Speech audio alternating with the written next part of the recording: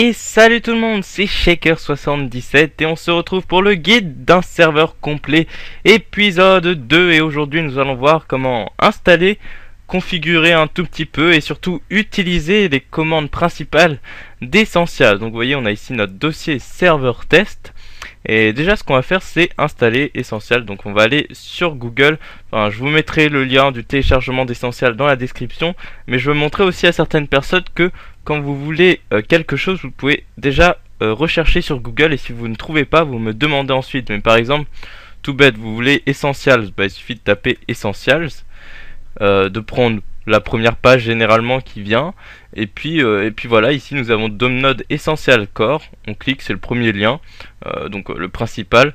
Et euh, voilà on a le, téléchargement qui se lance. Et, puis et puis voilà donc donc il n'y a pas il a pas de, de problème là-dessus. Donc surtout cherchez sur Google avant de me poser des questions un peu un peu simplistes parce que j'ai pas vraiment tout le temps de temps d'y répondre et, puis ensuite, vraiment, si vous ne trouvez pas, demandez-moi. Mais cherchez d'abord sur Google quand vous avez un problème, vous tapez votre problème. Et, euh, voilà, mais quand c'est un problème euh, voilà, un, peu, un peu bizarre et tout, vous pouvez me, demander bien sûr dans les commentaires. Donc on a ici euh, le fichier qu'on a téléchargé, un fichier WinRAR. Et quand on ouvre, on a 4, 4 .jar, 4 fichiers. Donc on ouvre notre dossier du serveur, hein, vous voyez ici, serveur test, hop, on l'ouvre et on va dans notre dossier plugin. Et là c'est vraiment très simple. Pour installer il suffit de hop de transférer voilà de mettre de copier euh, les les points jar dans le dossier plugin. Donc vraiment très simple. Ensuite on lance le serveur. Et euh, normalement vous voyez ça s'écrit euh, bon il y a des trucs qui s'affichent partout. Essential chat essential protect machin qui s'installe un peu partout. Donc voilà. On stoppe le serveur. Et puis on va retourner dans notre dossier plugin. Et vous allez voir voilà il y a deux, deux dossiers qui se sont créés donc euh, on va aller dans le dossier essentiel. Et euh, l'autre je sais pas vraiment ce que c'est, c'est pas très important. Et on va aller dans le dossier configuration. Bon, essentiel, il n'y a pas vraiment beaucoup de choses à configurer, donc on va, on va passer très vite. Ici, euh, juste, voilà, des fois vous avez des, sortes de, voilà, par exemple, hop name color, donc ça veut dire le, la couleur du nom des administrateurs. Mais comment, pourquoi il y a une lettre C, ça veut dire quoi, vous vous demandez? Et eh ben c'est tout simplement un code de couleur et je vais vous donner un lien euh, le lien du guide de couleur Minecraft euh, par WTCraft qui est un site Minecraft et qui a fait un très bon guide de couleurs enfin un très bon guide un, guide de couleurs voilà c'est le, le, plus simple hein, que j'ai vu et donc euh, ici, vous voyez par exemple, on a la lettre C. Et donc euh, dans, notre dossier, ça veut tout simplement dire, vous voyez, on a la lettre C. Et ça veut tout simplement dire que le nom va être en rose. Mais si on veut par exemple mettre le nom, je sais pas, en bleu, et eh ben il suffit de mettre 1 euh, parce que 1 c'était bleu. Donc voilà, je vous mettrai le lien de ce guide de couleurs dans la description. Donc voilà, il y a il y a pas mal de choses qu'on peut configurer mais c'est pas terriblement important ici on peut configurer les, les, outils que, que l'on va recevoir quand, quand on va rentrer dans le serveur pour la première fois. Donc euh, voilà, ici, et d'ailleurs si vous ne savez pas les idées des objets, je vous euh, donnerai un autre lien, donc euh, je l'ai ici, avec les différents idées des objets. Donc par exemple ici, il y avait marqué 272 jusqu'à 275, et donc on voit ici que c'est les outils en pierre de base. Donc ici en fait, par, par comment on dit, au départ, Essential euh, vous, vous, configure cela comme ça. Donc il vous donne les outils de base euh, de pierre euh, de départ. voilà, si vous n'en voulez pas, il suffit de supprimer ou vous pouvez aussi enlever. Hop, on descend un peu plus bas à la ligne je ne sais où. Hop, attendez, je vais le trouver. non, bon, je le trouve pas, donc on va, on va tout simplement, c'est pas, on va supprimer donc les tools. Hein les, tools où on était tout à l'heure. On va supprimer, mais il y, a un autre moyen, à un moment il y a marqué tools, mais bon, c'est pas grave, on, supprime ça, donc comme ça, ça nous donnerait rien, on supprime ça ici, ça nous donnera rien. Et euh, donc, euh, donc voilà. Euh, ensuite, qu'est-ce qu'on a d'autre On peut, on peut, pardon, on peut prévenir, on peut, comment dire on peut empêcher euh, différentes choses en mettant true ici. Donc par exemple si vous voulez empêcher les, explosions de TNT, bah, vous mettez true au lieu de false et il n'y aura pas d'explosion de TNT. Enfin, il n'y aura pas, ouais, il y aura pas d'explosion de TNT, ça ne cassera rien. Euh, pareil pour les monstres, hein, vous pouvez empêcher le spawn des monstres, mais bon, par, euh, par configuration de base, j'ai mis dans mon serveur que je ne voulais pas de monstres, donc ça ne sert à rien cette partie. Et, et voilà, écoutez, qu'est-ce qu'il y a d'autre d'important? Euh, voilà, bah c'était la tools. Hop, j'enlève. Vous voyez, il suffit d'enlever tools ici et puis euh, de mettre ça, ça. Comme, comme il y a indiqué. À chaque fois, il y a des indications en vert au-dessus. Bon, elles sont en anglais, mais si vous comprenez, ça ira très bien. Donc voilà, on peut, on peut enlever ici en mettant ça, on peut enlever le fait que ça vous donnera des tools quand vous rentrerez. Ici, nous avons encore des petits codes de, de couleur. Donc D, c'est je ne sais plus quelle couleur, c'est la couleur violette rose.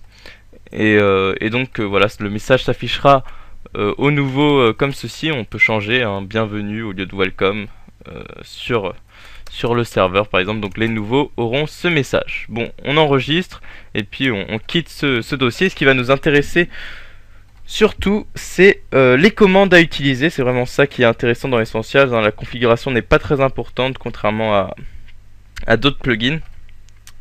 Enfin, elle est importante, mais mais euh, moi, je veux dire, souvent, je fais 100. Donc voilà. Donc après, euh, je vous montre un peu comment je crée, moi, un serveur. Donc euh, la dernière fois, j'avais pas montré comment rentrer dans un serveur, mais c'est très simple. Hein. Dans votre Minecraft, vous allez dans Multiplayer, faites Add Server, vous tapez le nom que vous voulez, et puis vous tapez ici l'idée Amashi. donc l'idée Amashi, je sais plus c'était combien, machin, et puis vous faites Done, et ensuite ça s'affichera dans votre liste de serveurs. Donc l'idée c'était 5.109, machin pour la mienne l'idée à Machi, donc voilà. Ensuite, hop, on rentre dans le serveur. Et euh, ouais, je suis rentré, ça m'a rien affiché, c'est un peu bizarre. C'est, ça marche pas, j'ai tout lancé. Je me reconnecte juste pour voir, voilà, les petits problèmes, ça arrive. voilà, là j'ai des trucs qui s'affichent, ça ressemble plus à Essential, je sais pas pourquoi ça me l'a pas mis la dernière fois. voilà, il y a des petites bizarreries des fois, on ne comprend pas trop. Donc là il me dit welcome, etc. Donc euh, donc voilà, et on va voir euh, la liste des commandes. Donc la liste de, quelques commandes intéressantes. Donc nous avons euh, la commande d'abord pour changer le temps. Donc on fait slash time. Et ensuite par exemple là comme il fait jour, on veut mettre la nuit. On marque, on fait un espace après slash time et on marque par exemple night, qui veut dire nuit. Et vous voyez que ça met la nuit. On peut faire la même chose avec le jour. Time plus loin, slash time plus loin day. Et ça nous met le jour. Donc c'est vraiment très simple. Euh, ensuite, on a la commande fly, donc slash fly, ce qui nous permet de voler. Et donc vous voyez que mon nom s'affiche bien en bleu comme je l'avais réglé, euh, vu que je suis un, administrateur, il s'affiche en bleu comme ceci. Donc voilà, ça prouve que j'ai réussi à configurer mon, mon, mon Essentials. Euh, ensuite, donc je désactive le flies. Qu'est-ce qu'on a d'autre? On a la commande god, qui est assez utilisée quand vous activez le mode god, donc slash god. Vous devenez un dieu en quelque sorte, c'est ce que ça veut dire, et vous êtes un petit problème avec ma souris, vous êtes euh, invincible. Donc là, il n'y a rien pour me faire des dommages. Mais je vais mettre fly, je vais aller sur un arbre et je vais sauter de haut. Et normalement, je devrais me faire mal, hein, parce que je suis en mode survival. Hein. Même là, si là je vole, c'est parce que j'ai activé le mode fly. Donc voilà, si je saute, normalement, je me fais mal. Mais là, je suis en mode god et ça ne me fait rien. Donc voilà, très, très pratique. On a slash feed. Donc ça, ça nous... Euh, slash feed, voilà, je vous remonte comment on l'écrit. Feed, ça veut dire nourrir, hein, euh, donc ça, remonte la barre de nourriture. On a aussi le slash heal qui nous remonte la barre de cœur, sauf que là j'ai tous mes cœurs donc ça ne fait rien, mais ça me dit quand même vous avez été soigné. On a, il y a quoi d'autre d'important euh, Le slash give, très important, le slash give. Ensuite, on fait un espace, on met le joueur, le nom du joueur. Donc, euh, je vais mettre par exemple le mien, Shaker77, le pseudo du joueur. Euh, avec Essentiel d'ailleurs, il suffit de mettre un peu le début. Hein, y a personne, si, par exemple il y a personne qui s'appelle, euh, je sais pas, Shark, bah, euh, et qu'il y a Shark et Shaker, enfin, comment dire, que, enfin, s'il y a aucun autre joueur dont le début est comme vous, vous pouvez mettre, voilà, par exemple, je peux mettre juste chat et puis ça sera, il devine que c'est Shaker. ensuite, on met l'idée de l'objet, donc vous avez une liste des idées. Hein. moi, je vais mettre par exemple 20, c'est du vert d'après mes souvenirs puis encore un espace et vous mettez le nombre que vous en voulez. Donc je vais mettre 30 et vous voyez que voilà ça me donne 30, 30 euh, verts mais en fait quand vous voulez donner des objets à vous-même il y a plus simple. Au lieu de taper slash give, slash give pardon vous tapez slash item. Et là vous n'avez pas item. Vous n'avez pas besoin de mettre votre nom ensuite. C'est slash item c'est pour vous en fait. Pas besoin de mettre de pseudo ensuite Pareil, on va se donner, euh, je sais pas, 15, je sais pas c'est quoi l'idée de 15, mais enfin l'objet qui correspond à l'idée 15, on va s'en donner 30, donc c'était des euh, du fer, donc euh, des, trucs de fer, donc d'accord. Et puis quand vous avez l'inventaire trop plein et que vous voulez faire un peu le ménage, vous faites slash CI, donc ça veut dire clear inventory, d'ailleurs on peut marquer tout en entier, hein, mais autant marquer CI, et hop, euh, ça nettoie ventre inventaire, donc c'est très sympa. Euh, qu'est-ce qu'on a d'autre? On a un truc totalement inutile, slash suicide, voilà, on, meurt, c'est super. Euh, qu'est-ce que nous, avons d'autre? Nous avons le, je regarde un peu dans ma liste, le SAS message, donc MSG, ce qui veut dire message. Vous tapez la personne, donc je vais mettre mon pseudo même si c'est un peu inutile, et vous tapez le message, euh, salut, comment ça va, voilà, et puis voilà, il y a moi qui envoie à Shaker77 salut comment ça va, et Shaker77 qui, ouais, enfin c'est un peu le bordel vu que j'ai envoyé un message à moi-même, mais c'est pas grave.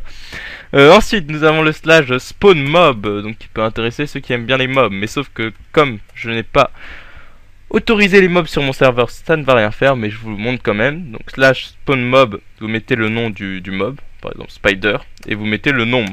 Donc slash spider 5. Donc là il me dit il y a 5 araignées d'invoquer, mais je les vois pas parce que je n'ai pas autorisé les monstres sur mon serveur. Nous avons le, voilà, très très important aussi, le slash set spawn pour définir le point de spawn. Donc par exemple, on veut que le point de spawn ça soit au-dessus de cette colline, on fait slash set spawn. Oula, je vais bien l'écrire, spawn comme ceci. Et vous voyez, le point de départ a été défini pour le groupe défaut, pour le groupe qui arrive, pour le groupe qui a, pas de groupe. On verra plus tard comment configurer euh, le plugin permission, ou le plugin group manager plutôt, qui est la même chose que permission en fait. Et euh, je, vous, expliquerai un peu tout ça plus tard avec des différents groupes. Euh, donc, et puis si vous voulez, si vous êtes loin du spawn et que vous voulez aller au spawn, vous tapez slash spawn et ça vous téléporte au spawn. Donc voilà, très très pratique. On peut faire pareil avec sa maison. Enfin, par exemple, définir un point qui sera sa maison. Par exemple, vous voulez définir votre maison ici, vous faites set home. Et puis, oh, bah, il y a une araignée. Euh, c'est pas censé normalement. Un bug ou pas, ou je sais pas. Si, bah, il y a bien une araignée. Euh, bah apparemment j'ai laissé les monstres autorisés sur serveur, je sais pas, j'ai pas fait attention, ça aurait dû invoquer tout à l'heure. je sais pas, c'est un peu bizarre, bon je la tue, y a pas de problème. Hmm, des fois il y a des bugs, ça me fait un peu peur, mais c'est pas grave. Euh, donc je vais faire slash heal justement pour vous montrer, voilà, j'ai été soigné. Euh, et slash CI, et voilà, j'ai plus d'inventaire. Euh, donc voilà, et je fais slash home, et ça va me téléporter à là où j'ai défini mon home, donc ma maison. Et on peut faire ça aussi avec un point n'importe lequel, par exemple, je sais pas, ici nous avons, on va dire, imaginons qu'on ait ici une église. Voilà, vous voulez euh, pouvoir revenir à l'église euh, d'une simple commande. Vous faites set warp. Une warp, c'est un point de téléportation en fait. Ensuite, vous, vous mettez le nom du point de téléportation. Je vais mettre église. Set warp église. Et voilà, le point de téléportation église a été créé. Ensuite, vous voulez vous téléporter à ce point de téléportation. Alors, vous allez un peu plus loin. Enfin, non, vous n'allez pas un peu plus loin, mais c'est moi pour euh, vous montrer. Je tape slash warp. Warp, warp et puis euh, le nom de l'endroit, église. Et voilà. Et ça me téléporte à église et on peut en avoir autant qu'on veut. Hein. Je peux mettre cette warp euh, grotte par exemple pour ici et puis warp grotte et voilà. Enfin, on peut en définir autant qu'on veut. Euh, qu'est-ce que j'oublie de très très important honnêtement? Ah si, j'oublie le slash TP. Très important aussi. slash TP ensuite espace le pseudo du joueur que vous voulez téléporter par exemple, moi je veux me téléporter, donc ça HTTP Shay, Shaker, on n'est pas obligé de mettre en entier, je le répète. Ensuite, le nom du joueur vers lequel je veux me téléporter, donc je sais pas, il y en a pas, donc je mets n'importe quoi, il va me dire, voilà, téléportation en cours, mais erreur, le joueur est introuvable, mais s'il était trouvable, eh ben, je me serais téléporté vers le joueur. Donc euh, voilà, je crois que j'ai fait la liste des commandes importantes. J'espère que, que, vous aurez appris quelque chose et que ça, voilà, que ça vous sera utile, que j'ai plutôt bien présenté. Et écoutez, si c'est le cas, n'hésitez pas à mettre un pouce vert et vous abonner à ma chaîne pour pouvoir suivre d'autres tutoriels à venir. Il y aura World Edit, Group Manager, etc. Et euh, donc, euh, je vous dis à très bientôt pour une autre de mes vidéos. Allez, salut tout le monde, bye bye.